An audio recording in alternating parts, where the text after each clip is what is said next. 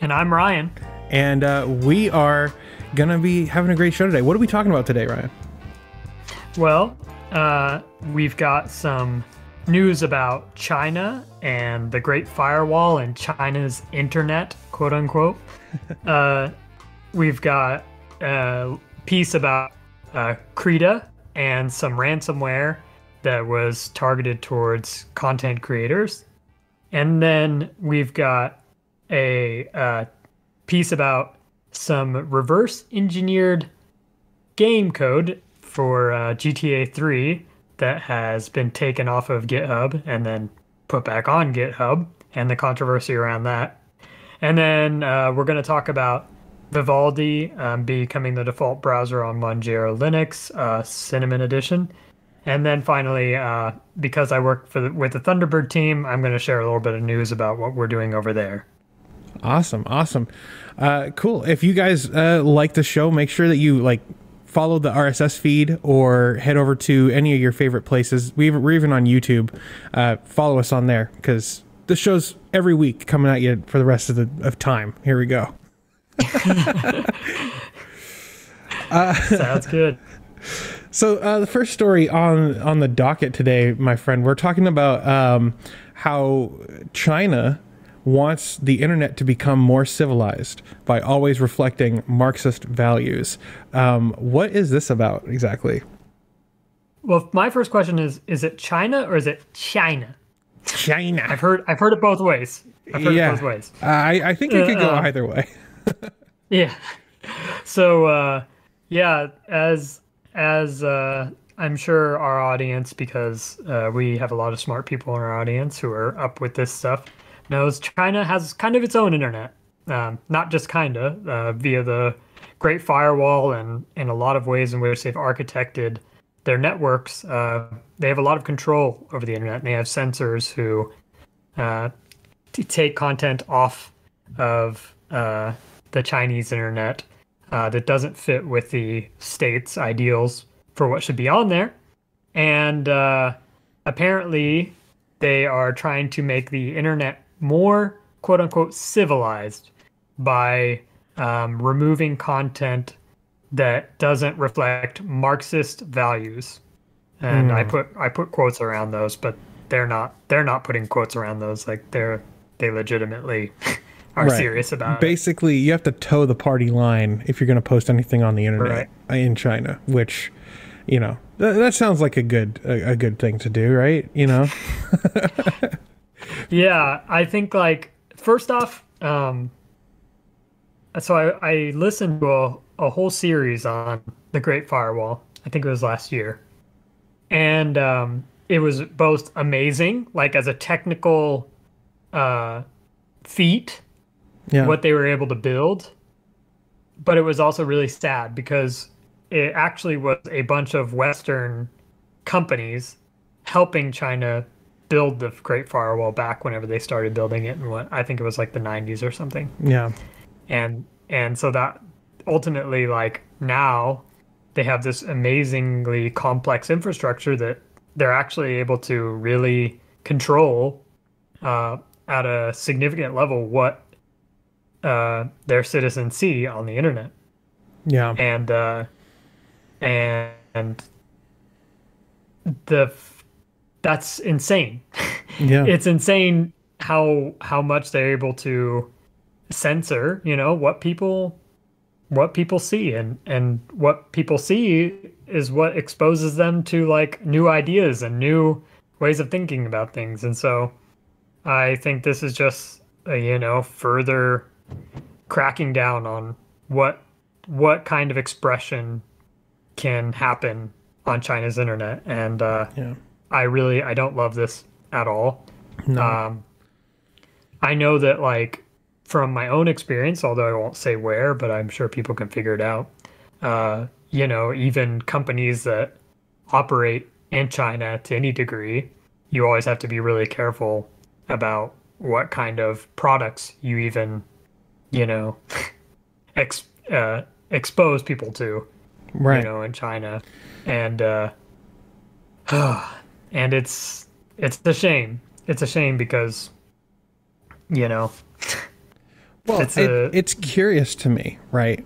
Because it's like you have so many companies, you know, Western companies that are like, oh, we, we got to get into the Chinese market. We got to get into the Chinese market. And they're willing to do all this stuff and jump through all these hoops. Like, you know, Disney, they're willing to like change major parts of their movies, censor themselves uh, for to, to, to get into the Chinese market. A- and then you look at something like Tencent, where you know, I, I think it was two weeks ago, China started just cracking down on Tencent and starting to like take parts of Tencent and nationalize them because they didn't like Yeah. how Tencent like was being operated. And it's like these companies are so focused on getting into the Chinese market and like getting access to all the these Chinese consumers and they're not even thinking about like the implications of subjugating themselves to the fickle whims of an authoritarian government. And it's like Yeah. I don't understand how they could not see this unless they just don't care. Um, Yeah. the, the thing that's like really crazy to me too is like this uh, the report that was on like a bunch of different uh, state sponsored websites um, basically says that they're constructing a new uh, censorship mechanism that's meant to bury rumors. It's called the uh, China Internet Joint Rumor Refusal Pl- Platform, uh, and it's basically a uh, it's a fact checking service that is meant to offer alternative facts oh my gosh. it's insane. Like I don't understand how people could can put up with this. Like I, I dude, I don't get it. it it's yeah. Sorry. Go ahead. I mean, honestly, the people don't. I mean, there's Yeah. the, the problem, and when they don't, they they end up in a you know in a black bag, um, Right. and that's that's unfortunate, but that is the reality. Um, although you know you have these really interesting stories where the lots of Chinese people will find ways around the censorship, like they'll they'll use alternative words Yeah. you know, for instead of like whatever the word that's being censored is in Right. order to try and, Like and share calling- this stuff. Like calling Xi Jinping Winnie the Pooh. Yeah, exactly. Yeah. Exactly. And But this is so, th- this uh, this whole initiative is even meant like meant to crack down on the use of internet slang. yeah. Yeah. Uh, ultimately, I think that it's a double-edged sword. And and I don't know if it'll actually come back to uh, hurt China, uh, the Chinese government. Yeah. in any way but i feel like i feel like there's always kind of a trade-off you make when you try and censor freedom of expression and uh and the trade-off that is made is in in the terms of creativity and innovation and so you know they china and we'll go into geopolitics only for a second but china wants to be the preeminent power in the world. They want to be the the you know most the biggest economy in the world, which they probably will end up being in some in some way. But but ultimately, like creativity and innovation is born in an environment of uh, free expression. Yeah. And so I think ultimately each step they take like this ha- does have its risks to their ability to uh, really be, become a premier uh, economy in the world and to become a premier a place where people want to do business and and uh, and you see like you know Google pulled out a while back because of because of multiple things censorship and forced technology transfers. But I think even their talent inside the country, uh, if you're really a top tier, what what is it, developer, um, entrepreneur, etc., you're gonna think twice, you know, about about sticking around or you know, and you might consider going somewhere else to start your company or build your build your software because because of you know the the environment. Uh, no. and so uh, I I'm I'm always watching this. Uh, th- this is actually my one of my unhealthy like obsessions is is uh, reading about totalitarian governments and authoritarian governments. Yeah. And uh, I've been watching this uh, for for a few years, and uh, and uh, I'm curious to see if they can continue their their pace of like growth when they continue to to crack down. Uh, yeah, especially on technology companies lately. But Yeah. we'll see. I, I think that there's like I mean, like you said, there's a trade off. I think that might not be the right word though. I think like there's only so much that that um, Beijing can kind of crack down on free expression until like people revolt from it. You know, like uh,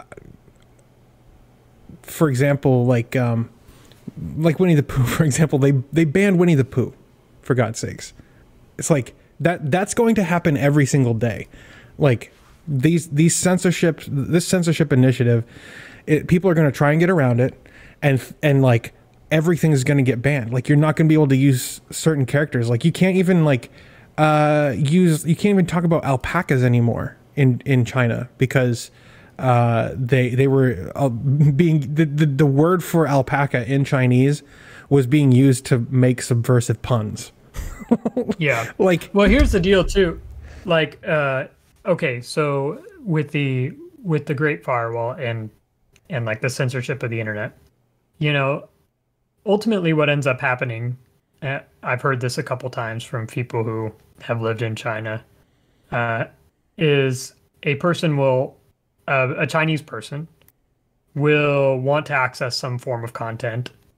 They'll use a VPN or some some way to get around the Great Firewall and censorship be exposed to a lot that they haven't been exposed to otherwise. And then then you then that it actually yeah it has this blowback because they begin to be like okay well like why is this censored? You know? And and once you open that door it's kind of like like uh i don't know. It's kind of like people who have been in you know a cult or whatever you start to question a lot of a lot of things. And uh and then it kind of i don't know it it it, it breaks trust in your government institutions. And i think that this is where ultimately like this type of censorship i think i don't know i don't know if it'll have an, this effect over the next 10 years but ultimately this type of thing collapses on itself yeah, unless they develop like a totalitarian AI that runs a robot army and then subjugates all humanity.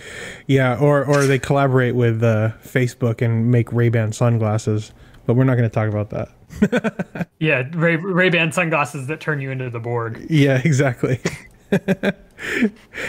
um, yeah. So I, I want to know what you guys think out in the audience here. What do you think about this story? Uh, have you read any of the uh, information coming out of China on this? Let us know. Hit us up. Uh, send us an email. Show at offtopical.net. Also, um, talking about the Facebook stuff, just a very brief side, Yeah. off topic. Yeah, I watched your video, Yeah. and uh, man, you you got me. Like you got me. That video got me. I In- in what up. way? If it it it just like something about it like hit hit my feels. You oh, know? okay. Cool. It hit me in the feels.